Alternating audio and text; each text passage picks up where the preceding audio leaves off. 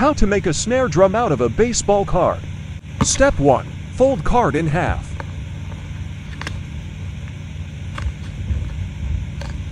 Step 2. Thread card through guitar strings. Step 3. Play guitar.